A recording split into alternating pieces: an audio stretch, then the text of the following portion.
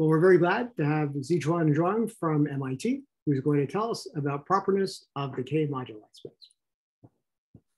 All right, um, thanks for the invitation and thanks to Ravi for the introduction. So, right, so my title is already on the on the screen. So I'm going to talk about um, this K properties of the K moduli space. And this is joint work with uh, Yuchen Liu, who's at Northwestern, and Chen Xu at Princeton. Um, so, so let me start out by saying that um, so everything I'm going to talk about is over the field of complex numbers or any um, algebraically closed field of characteristic zero. So, um, so the main question I want to consider in this talk is the following, namely put it vaguely. So is there, is there a nice modularized space for Fano varieties? So let me put down the question first. Um, a nice modularized space of um, Fano varieties. And by Fano, of course, we mean, um, so the anti-canonical divisor is Q Cartier ample. So that's the Fano condition. And so as an algebraic geometer being nice um, for the moduli, U-reflex means that it should be separated and proper.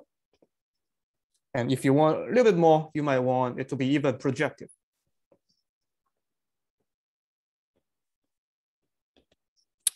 Okay, so that's the question. Now, um, it's pretty well understood that if we try to include every Fano varieties in this moduli space, it's going to be very badly behaved. And the main issue is that um, there are many isotrivial degenerations of Fano varieties.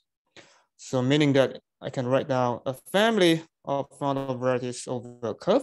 Let's say the curve is called C, and there's a distinguished point zero, such that um, so this is a family of Fano varieties. The problem is that um, you can have families where um, away from this close point, away from the central fiber, all the fibers are isomorphic to some fixed Fano variety. However, on the central fiber, what you get is something different. So this means that um, on the moduli space, um, if that exists, then the moduli point for x um, will contain the moduli point of x0 in the closure. And because those are two different points, this in particular says that the moduli space is not separated. And there are many examples of this. Um, so for instance, you can just take P2 and um, use the usual degeneration to the normal cone construction and degenerate it to um, the cone over the conic. So this cone over conic is x0. Um, and notice that this is, so as the variety, this is the weighted projective plane P114.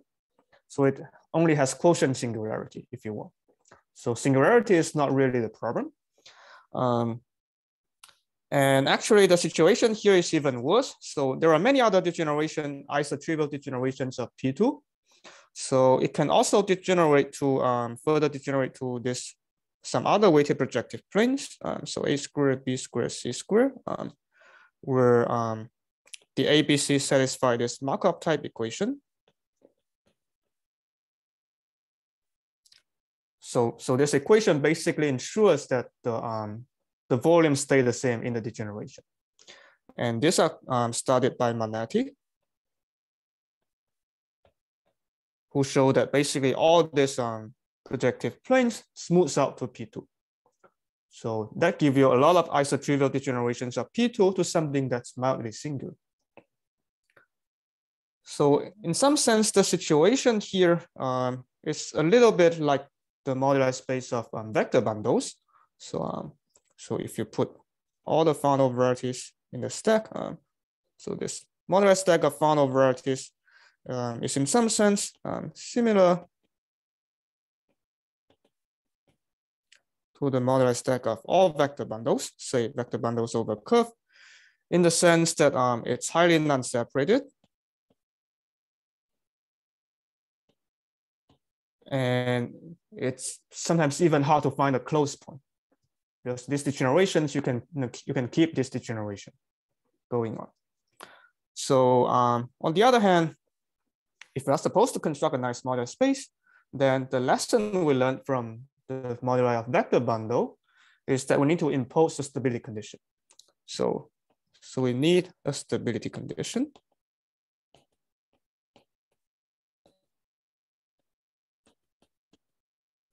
So in the case of Fano varieties, the stability condition is called K-stability.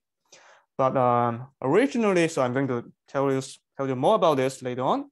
But originally, this stability condition um, come from differential geometry. So, um, so let me um, discuss that first. Um, so in differential geometry, um, people consider canonical metrics and in particular Kähler-Einstein metrics.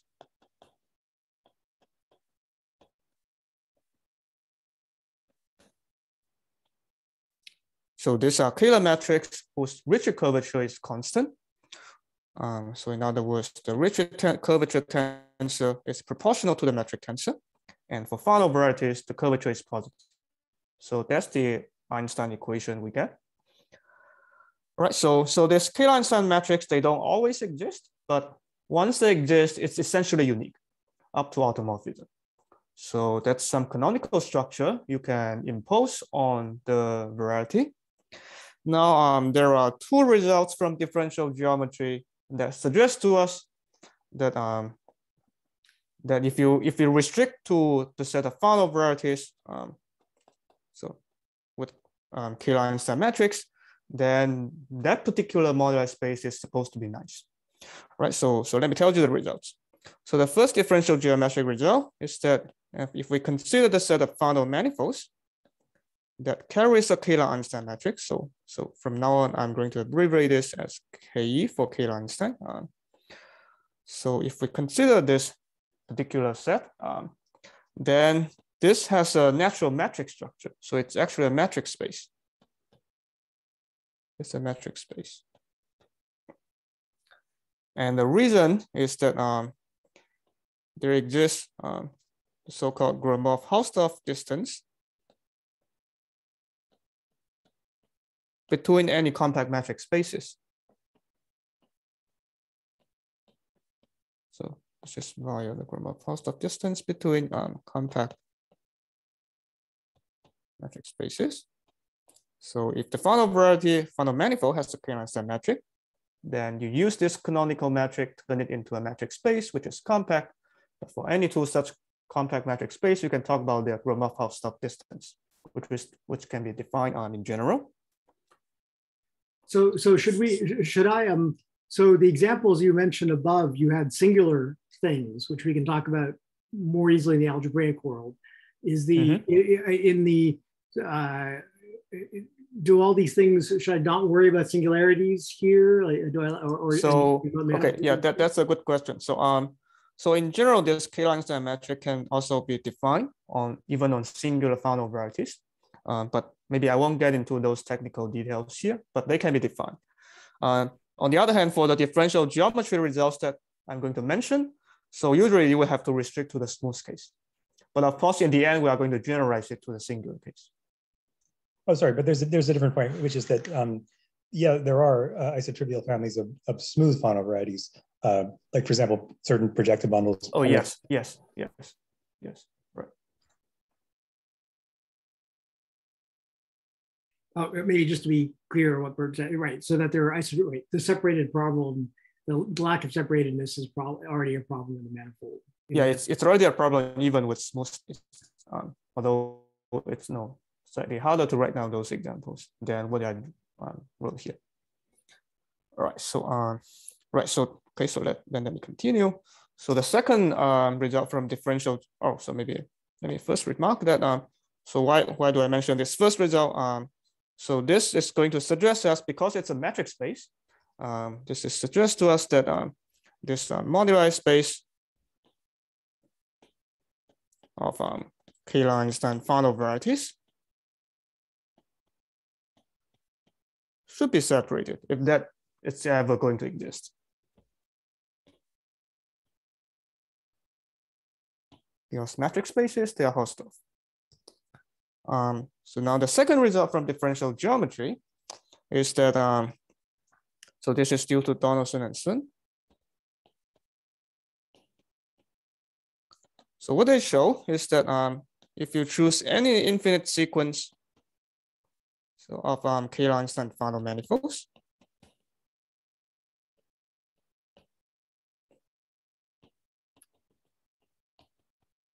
then um, up to possibly passing to a subsequence, you can always take the limit in this um, Gromov-Hausdorff topology. And you would get a limit space. This limit space still has K-Einstein metric. It's again a Fano variety, so in particular it's algebraic, although you might lose the smoothness. So in general, it's only a variety which can be singular.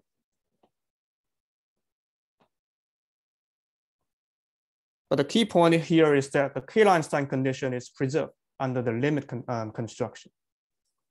So again, this is going to suggest us that if we take the moduli space of K-Einstein Fano varieties, um, then this should be proper. Because we can take the limit analytically in a suitable sense. All right, so um, so of course, the existence of K-Einstein metrics sounds like an analytic condition, but in fact, it's the content of the so-called Yau-Tian-Donaldson conjecture.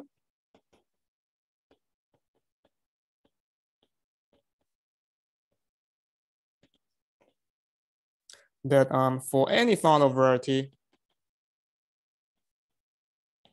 the existence of a K-Einstein metric is actually an algebraic condition, and it's equivalent to this um, to saying that X is called polystable, K polystable. So um, I'm going to tell you what this stability means um, roughly later on.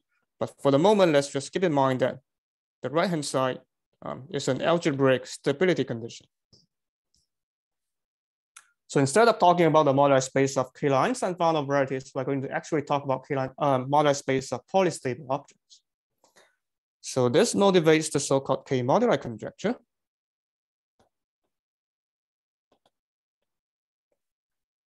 That um, so that there exists a proper, so separated and proper moduli space.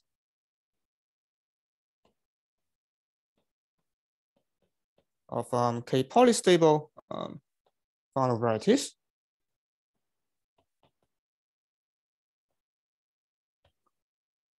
And in fact, it is further conjecture that all the connected components are projective.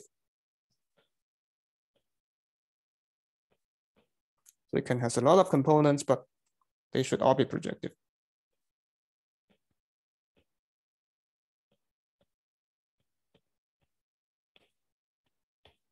So, so that's the conjecture. Um, um, so of, of course, this conjecture has been worked on for many years recently, um, um, in the past decades, I guess.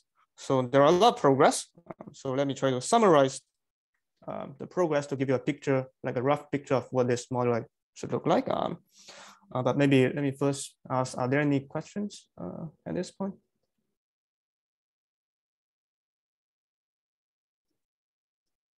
All right, so, uh, so now I just need to do a little copy paste. Um, because there are just too many names to write down. Um, so, um, um, so this theorem has been worked on by so many people. Um, so um, to avoid the risk of forgetting any names, um, so I've um, copied these names in advance. Um, right, so, so let me tell you the theorem. Um, so, um, so as usual, um, if we kind of want to construct a moduli space, we start with the, the semi-stable object first vector stack in the moduli space of vector bundles.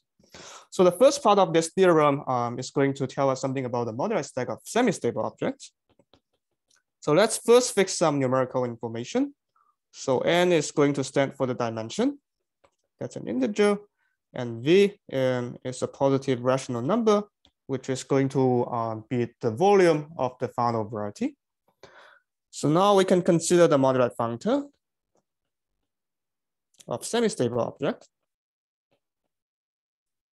So, um, so this is already noted by this. So um, upper script stands for K semi-stable, lower script are the numerical um, invariants. So this functor takes every scheme um, over C um, to the groupoid um, of um, flat family of Fano varieties, uh, maybe flat family of K semi-stable Fano varieties. Um, semi-stable um, Fano varieties. Um, with this numerical definition, so the dimension is n, and um, the anti-canonical volume, which is the top self intersection of minus k, and this should be v. Um, um, with an additional condition that this family should satisfy um, the so-called Kollár condition.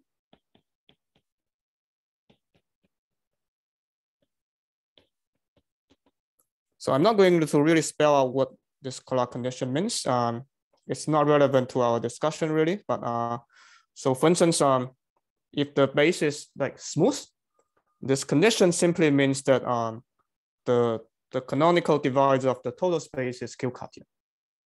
We want all the, the anti-canonical line bundles on the fibers to glue together into a line bundle on the total space. That's the condition, right? But it's going to be satisfied for most of the families we are going to consider. So let's don't worry about this. Right, so this is the moduli stack of semi-stable objects. Um, so the conclusion of the first part of the theorem is that this moduli functor is represented by an Artin stack of finite type.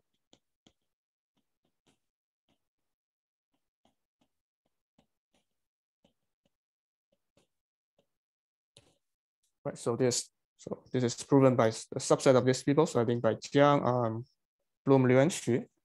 So, um, so of course, it's a more abstract statement, but more concretely, uh, what this says is that, so if you take a semi-stable Fano varieties of this dimension and volume, then they all embed into a, a certain projective space of fixed dimension. And then if you look at the Hilbert scheme um, of that projective space, then the local step parameterized K semi-stable Fano varieties is a locally closed subset. Okay, so that's this Artin stack of finite type, the concrete meaning of this sentence. And, and they're embedding in and they're embedding in projective space by just some multi some pluricanonical. Yeah, by some pluricanonical. It's very canonical. Great. Yes. Yeah. Exactly. Okay. So so that's the first part of the theorem for the semi-stable um, stack. Now um, the second step in the construction of the moduli space of the moduli space is to pass to the S equivalence class and get the moduli space of polystable objects no matter what that means. Right, so um, so then the second part of theorem says that, so now I take this stack of semi-stable objects. I'm going to drop the subscript. Um, so then this, um, so this has a, um, as a separated good moduli space. So again, I'm going to write down the abstract sentence and then I'm going to tell you what the concrete means. Um, so has a separated good moduli space, um, which is going to be denoted by um, MK polystable, which um, which is going to parameterize all um, K polystable Fano varieties.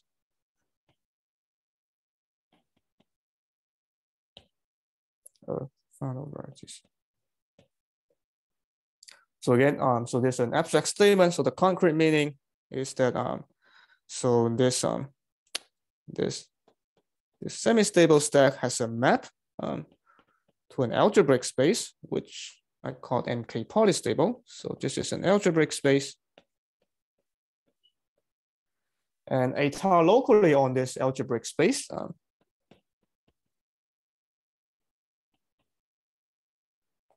um, this map looks like um, the map from a quotient stack, so affine moduli reductive, um, mapping to the corresponding GIT quotient. So the spec of the ring of invariant. Oh, sorry. Uh, so that's the concrete meaning of this sentence. Um, so for the good modular space part. And then furthermore, so this, this algebraic space is created and the points are in one-to-one correspondence with the K modulus, K polystable Fano varieties. And this, this is what we call the K moduli space. Eh, so is there, so there's a definition of K polystable, which doesn't matter. I mean, there's some technical definition, but is this going to be a moduli space in the, is this going to represent the functor or just that there's a one-to-one correspondence? It's just a one-to-one correspondence. It, great. So the functor is really the, the semi-stable stack. Great, great. It's the it's roughly the same as like the moduli space of vector bundles. So there's a stack of semi-stable vector bundles up to pass to S equivalence class to get the moduli space or like the coarse space of um, vector um, polystable vector bundles, something there. Excellent. Same flavor. All right, so so at least we get a separated moduli space, which is the K moduli. Now the remaining parts of the K moduli conjecture ask whether this is proper and projective. Right, so um, so, so the third part of the theorem is going to say something about projectivity, assuming properness. Uh, so the statement is that every every proper um, subspace, algebraic subspace of the K moduli space, that um, so right now they parameterize K polystable Fano varieties, but the Yau-Tian-Donaldson conjecture says that they should also have Kähler-Einstein metric because they are equivalent. So the statement is that every proper subspace that also parameterize, um, so the points are um, varieties with Kähler-Einstein metrics. Then this subspace is projective. So if you assume a little bit more about the points they parameterize, then you get projectivity. All right, so so then um, in terms of the K-moduli conjecture, what's missing is that, so, so of course we expect this whole space to be projective. And also we expect that all the points they parameterize, which are K-polystable, should also have K-Einstein metric. So that's the missing part. So, um, so now let me um, state our main theorem, um, which is um, joint work with uh, Yuchen and Chen Xu it has two parts. Um, so first one is that, uh, so the K moduli space is actually proper. And second one, um, the Yau-Tian and Donaldson conjecture holds uh, for any Fano variety. So in particular, as I just remarked, uh, putting these two together would imply the entire model, uh, K-moduli conjecture.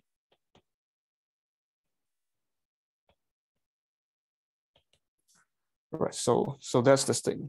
Um, okay, uh, I know this is like a very long statement. Are there any questions again?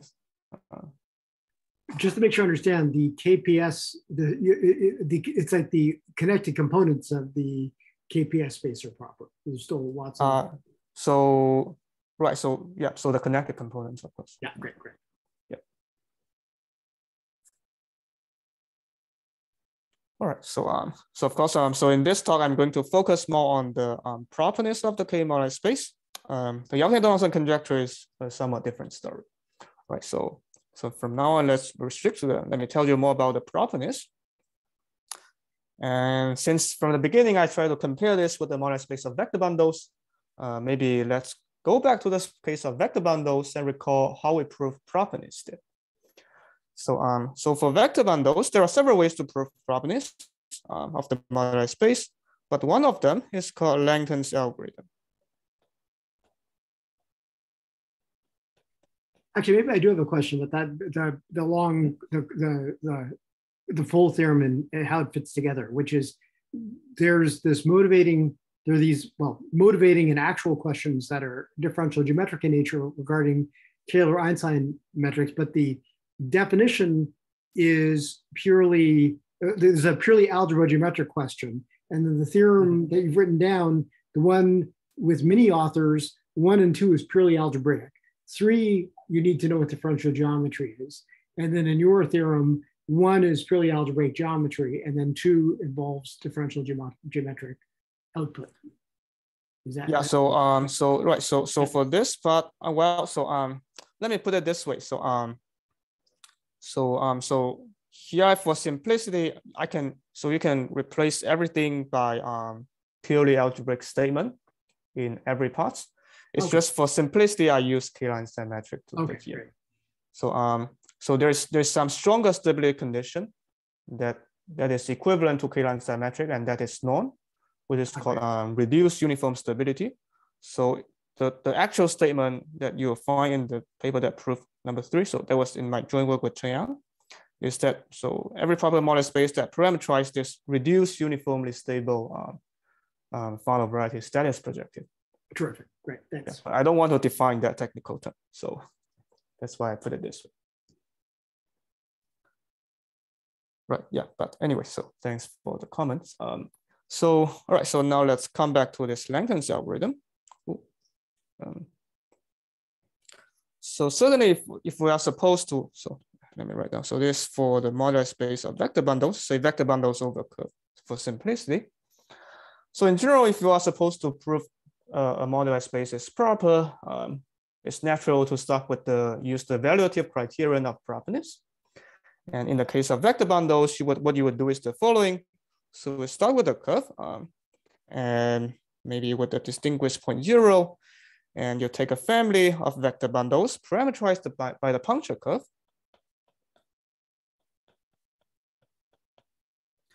And so let's say this, this is a family of semi-stable vector bundles. And I would like to show that I can extend this family over the puncture to get a family of, again, of semi-stable vector bundles. So now, um, to start with, it's, it's a little bit harder to achieve this, but it's relatively easy to write down a family um, of vector bundles, whatever stability they have. So this is only a vector bundle. Um, so I fill in the central fiber by some vector bundle. Now, um, if um, if the central fiber is semi-stable, we are done. But if it's not, then Langton has an algorithm to improve the stability. Um, so so it, and it works as follows. If it's not semi-stable, then you can write down a maximal destabilizing subbundle. And of course, that comes with a quotient. Um, so this F is the maximal destabilizing subbundle. Now, um, now, now Langton says that, all right, so now if I replace this family, uh, if I take a family E prime, which is, um, so if, so, so if T, so if the total family is called curly E, so then, so this curly E maps to E0 maps to G. So if you take the kernel of that, uh, then this, this subbundle suddenly become the quotient if you look at this new construction, right? So, so then if you look at the prime zero, then uh, it has a surjective map to F and then the quotient becomes G. Sorry, the subbundle becomes G. So in some sense, by taking this Langton's construction, you are able to flip the maximal destabilizing subbundle to the quotient. And, and this highly suggests to you that um, the stability is going to, imp to, to improve. Because what originally give you a, destabilizing object now is no longer there. So um, so Langton actually, so so there was Langton's work to show that um, so this algorithm actually works, so it improves stability um, throughout this process. And at some point, it's going to stop. So if you repeat this process finally many times, replacing the subbundle, sorry, replacing the family of vector bundles by a new one, um, then eventually you are going to end up with a family of semi-stable vector bundles. So at the end, you get a semi-stable vector bundle. Right, so that was Langton's algorithm. So, um, so then for this rest of the talk, what I'm going to tell you um, would be, so what's the Langton's algorithm for the Fano varieties and what are the ingredients in there? So so of course, do this, I need to first tell you um, the definition of K-stability, because I haven't done that yet. Uh, uh, we have to see how it looks like. Um, um, and then I need to first tell you, so one key ingredient in this Langton's algorithm is the existence of a maximal destabilizing subbundle. So then I need to tell you what's the maximal um, destabilizing object um, for Fano varieties. And finally, how do you adopt, uh, um, adapt the Langton's algorithm in the Fano case uh, to prove properties?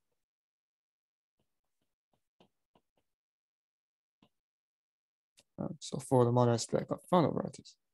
Right, so that's my thing. Um, all right, so let me start from the definition of K-stability.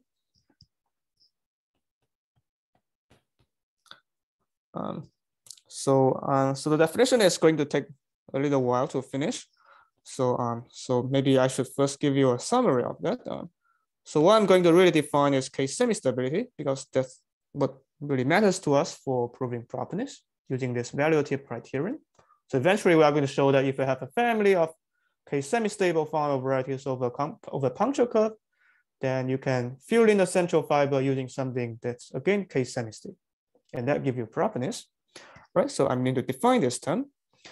So, um, so roughly speaking, um, being K semi-stable says that um, an average divisor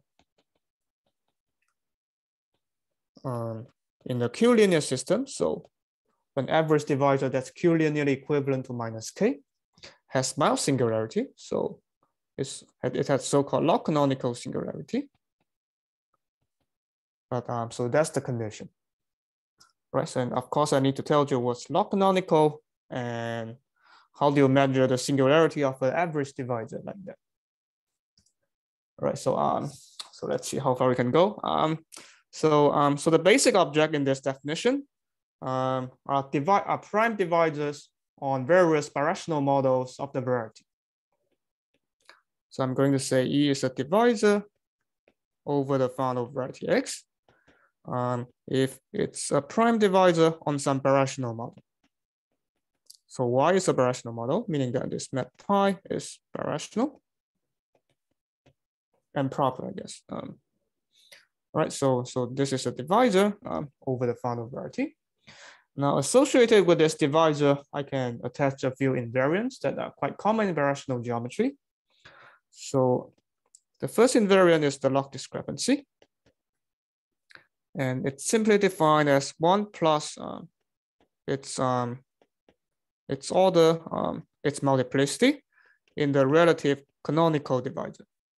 So ky minus the pullback of k, kx. So we can assume y is smooth, for instance. So this theory called the log discrepancy.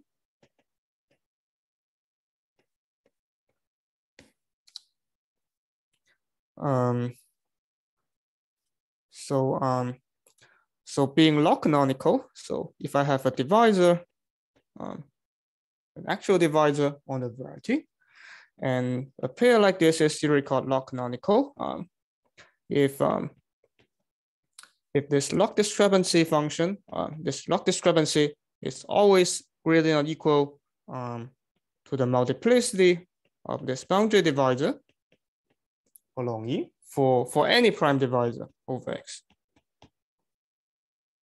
So in some sense, it's a measure of the singularity. You can imagine that this, this multiplicity is like the multiplicity of a. And, but you are going to measure this multiplicity in various by choosing various different um, prime divisors on the covers. And this condition is roughly saying that this multiplicity is bounded from above by some measure of this multiplicity that you've chosen before. So, so that's the rough idea. So, but it's it's a condition on the singularity. That's that's the idea. All right. So um. So then, um, in order to to make this sentence um reasonable, um, I just have to say um, I just have to define what's the multiplicity of an average divisor. Um, so this multiplicity is called um, the average expected vanishing order. Uh,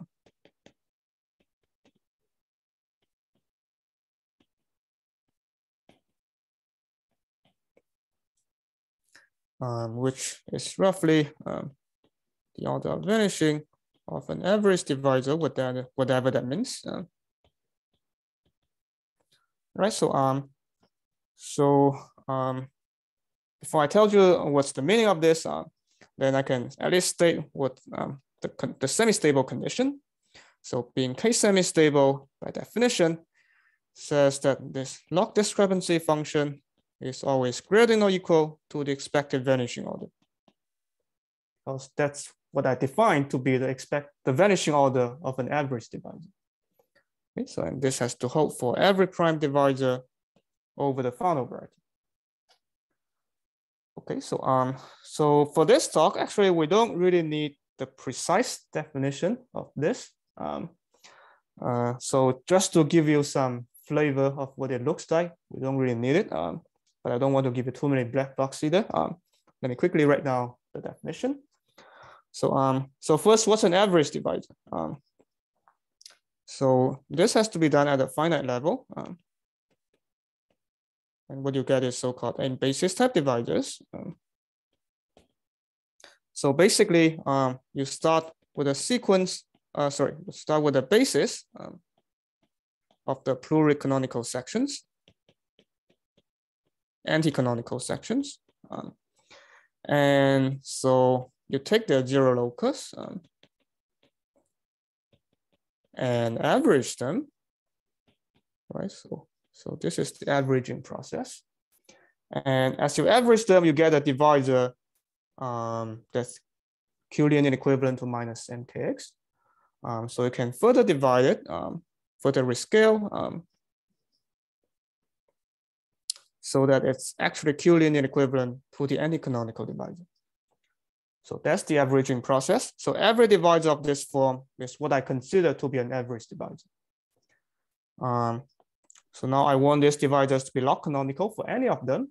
And somehow so then, this, doesn't, this doesn't matter what your basis, you, you chose a basis. No, it, it matters, it matters. Okay. Um, right, so so then what I'm really defined as the, the vanishing order is the supremum.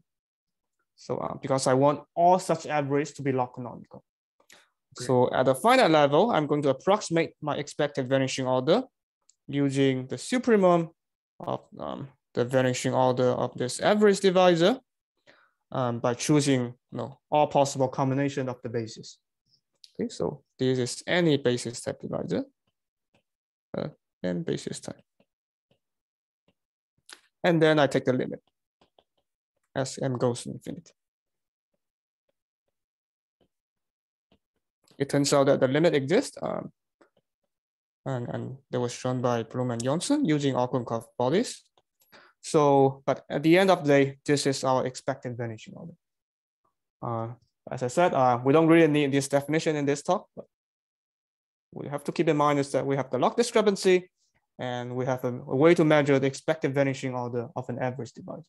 And being K semi-stable means that one is greater than or equal to the other. So it's a singularity condition. All right, uh, again, I know this is a long definition. Um, are there any questions so far? maybe not a question, but I'm uh, in the case of the vector bundles, it's sort of the lack of stability told me, I feel like it, that condition, the, the algorithm you said, it's kind of obvious what you want to try. And the magic is that the algorithm terminates. And here I'm, it's like a mystery story where I'm trying to guess what the algorithm is going to be. And now you've given some hints. So now I'm curious to see. What... Yeah, yeah, yeah. I'm going to keep you guessing for, for a little while. Um, um, but, uh, but you'll see the answer at the end right? So, all right. So, okay. So I think uh, let me let me check my notes. Uh, right. So um, so so yeah, maybe at least I should give you one example at least. Um, so. So maybe one example um, is that if you start with a toric Fano variety, then you would get an associated polytope. Um, the polytope associated to this ample line bundle, um, sorry, ample Q line bundle, the anti-canonical. Then, um, so in this case, um, being K semi-stable, if you track this, um, this, this condition against all the torus invariant divisors, it's going to tell you that the barycenter of this polytope is at the origin.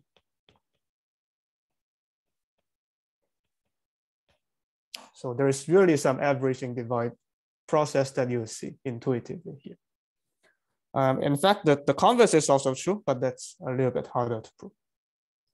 Right, so, so that's the example I want to give you. So in particular, if you remember all these weighted projective planes I mentioned to you at the beginning, only the P2 is K semi-stable. All the other ones are not. So by imposing this stability condition, you rule out the rest of them.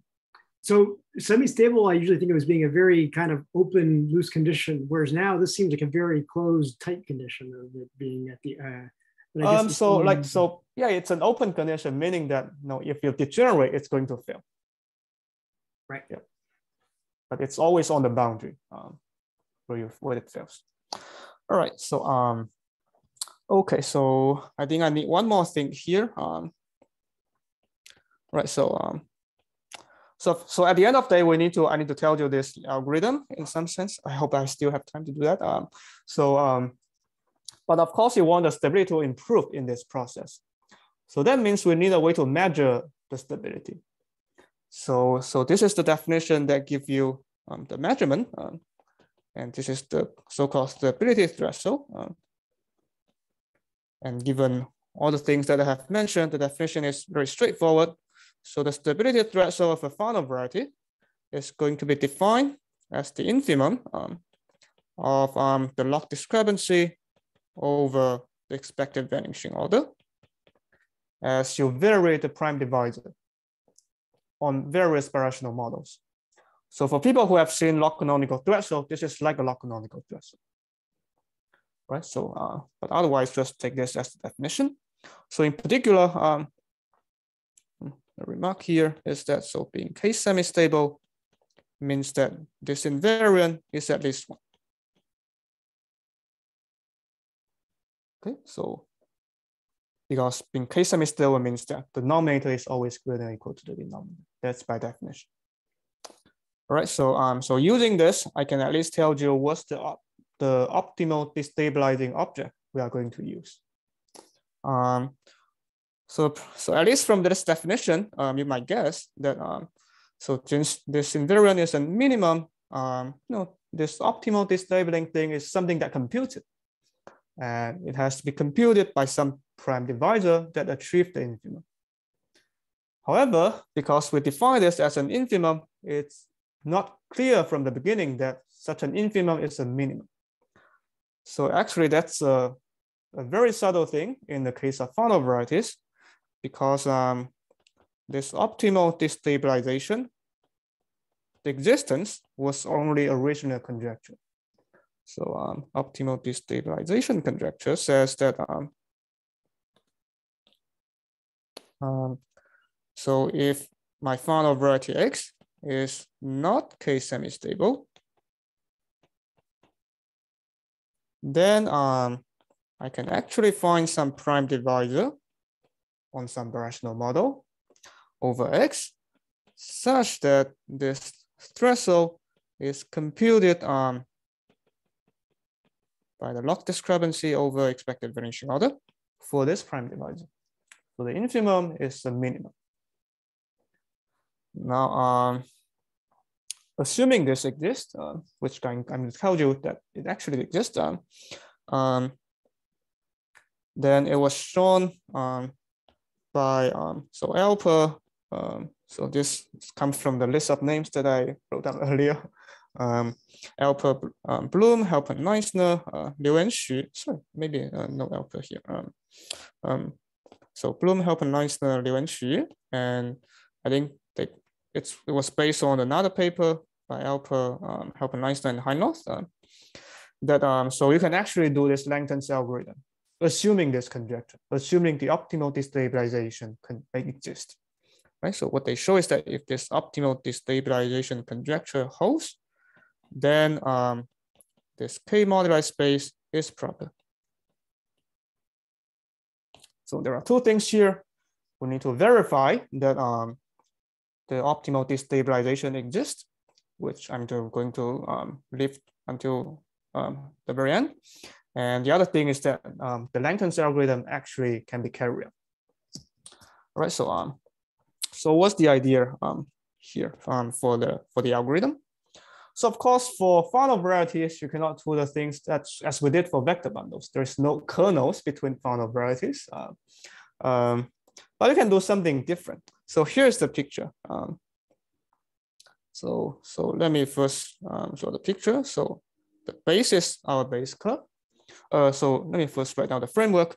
So, so in general, um, we start with the family um, of Fano varieties, um, okay, semi-stable Fano varieties.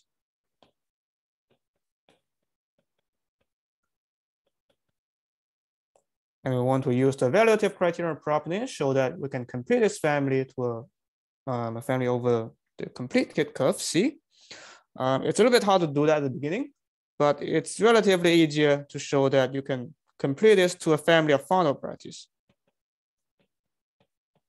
So, so we forget the semi-stability condition for the at the moment. Now I want to again find a, an algorithm to improve the stability. All right, so um, so now in this picture, what I'm going to draw on the top um, is the locus in the suitable Hilbert scheme. Because if I want to complete a family of varieties, it's natural to you know, look inside the Hilbert scheme, take the limit. Well, so um, so on the, over a generic point of my curve, um, um, I would have to write down, so basically the PGL orbit um, of the Fano variety there um, inside the Hilbert scheme. And now I specialize this orbit um, to the puncture zero. And so I would like to see what I get. Great. What, what line bundle, which multiple of the canonical, of the anti-canonical are you?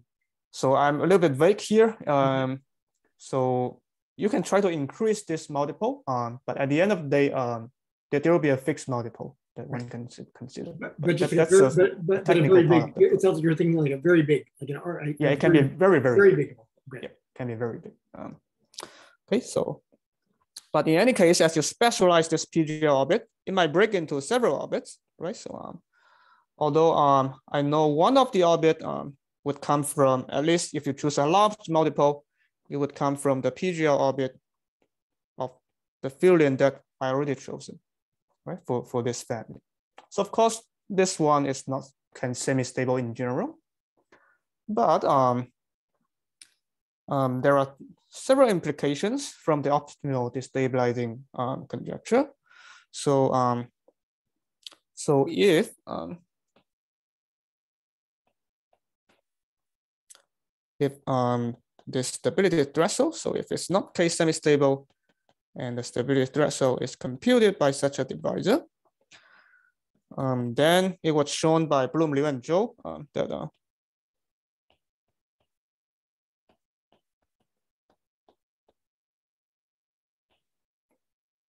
that this divisor E is going to induce a degeneration.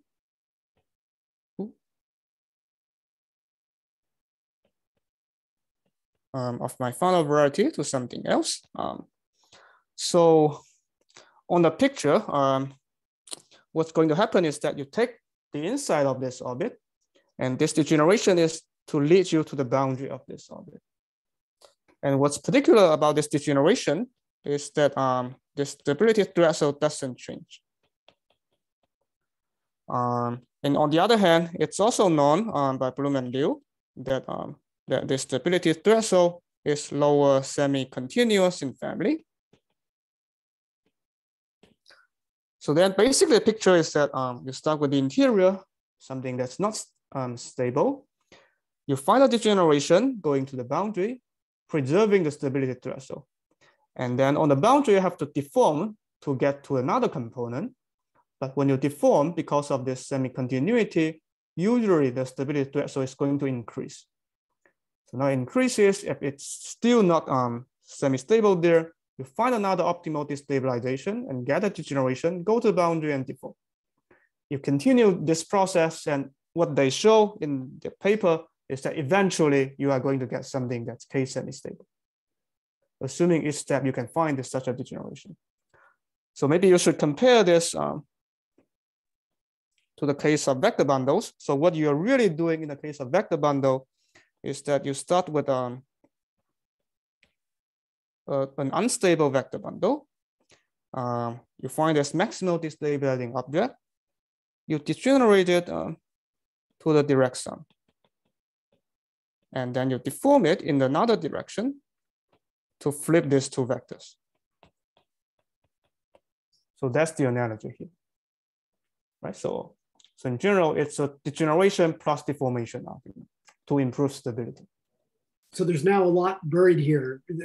Being, being able to degenerate now becomes non-obvious, completely non-obvious, unlike the yes, yes.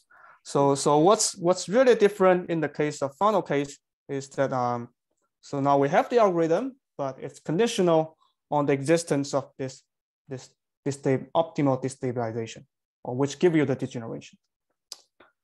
Right. So um so of course uh, when I explain this, I haven't really. Oh, I mean you there's this degeneration that depends in some way on E. Maybe I missed what you said, but how does E give you a degeneration?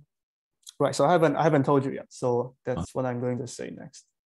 Right. So so now let's go back and see um, how this degeneration is obtained. At least what's the central fiber.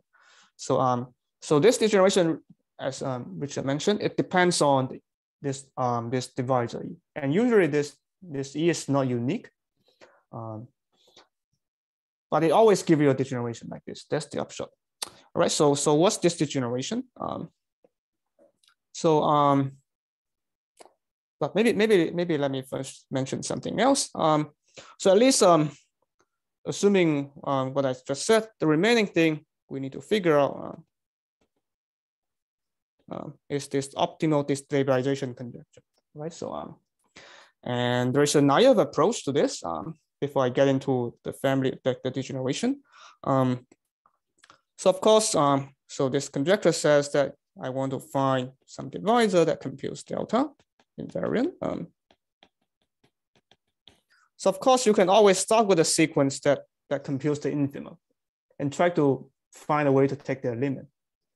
Um, but if you just take their limit on just various birational models, you run into a problem because these models can, can go higher and higher, you never stop. You can continue blowing up.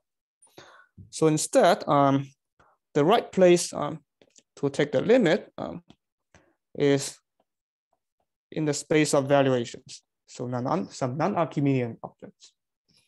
Um, so of course, every divisor over the variety is to, going to give us a discrete valuation of the function field And in order to take their limit, we need to rescale them. So in general, uh, what we really consider are the space of real valuations. So it turns out there's um, log discrepancy function and um, the expected vanishing order. They both extend um, to the space of valuations. Um, so real valuations, meaning that it can take real values. So um, it was already shown um, by Blum and Jonsson that um, so although we don't know the optimal destabilization conjecture, we do know that this threshold is always computed by some valuation.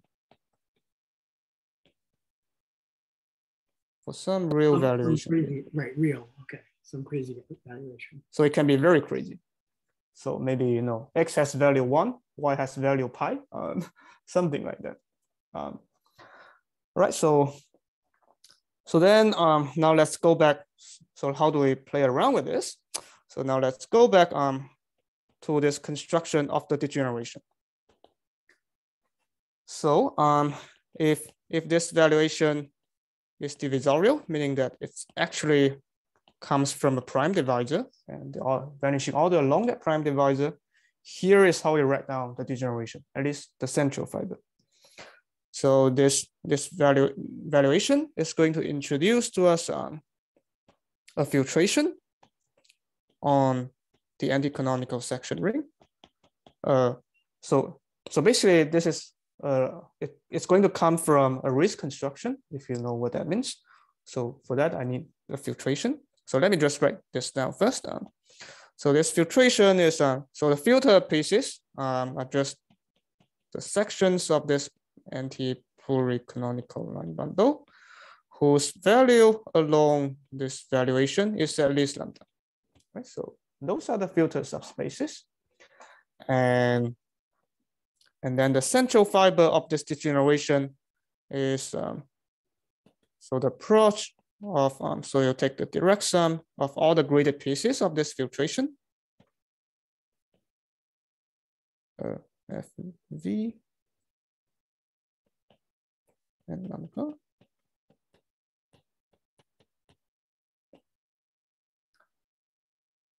So um, so that's that's the degeneration. Um, um, and that was if that's if it's so if you consider like so each each so these are basically the space um, on the total space that you know um, if you put this um, C star action with different weights on different space and degenerate, then on the central fiber you will get this.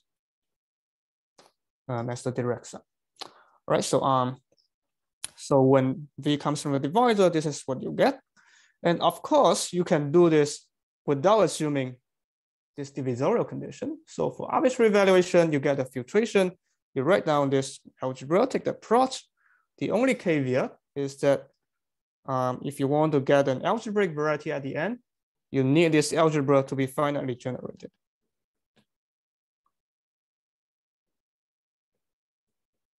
And that's the big question. So, um, so when the valuation is divisorial, this was a consequence of the paper by Birkar, Cascini, Hacon, McKernan. But if the valuation becomes crazy, then it's more mysterious. Um, so this was, this was originally um, the content of the so-called higher rank finite generation conjecture in rational geometry, where higher rank means that the valuation has rational rank higher than one. Um, so that was actually what we um, proved um, as a main technical result in our paper. And so in the joint way with Chen and Chen. So what we show is that um, if um, if the Fano variety is not K semi-stable, and the stability threshold is computed um, by evaluation. So, so, so not case semi. So in particular, this is less than or equal to one. Um, so for some valuation, V, um, maybe I should give a name to this algebra. So, uh, so let me call this uh, the graded ring associated um, to, to this valuation. Um, so we sometimes put an R on the right-hand side, um, the graded ring associated to the valuation. Um, so then the conclusion of the theorem is that, um, so this graded ring is always finitely generated.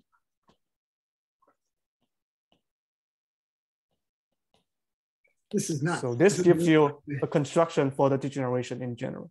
So, um, but of course, uh, so at the end, this is also going to imply the optimal destabilization conjecture um, when when this is less than one, and um, and in the case uh, when this is equal to one, this implies the Yau-Tian Donaldson conjecture.